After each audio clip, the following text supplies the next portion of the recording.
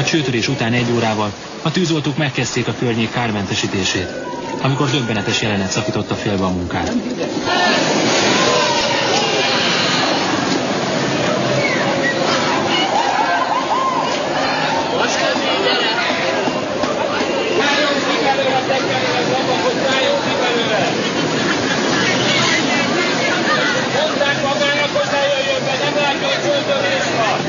A Suzuki nő a környékbeliek figyelmeztetésének ellenére hajtott a csőtörés kráterébe.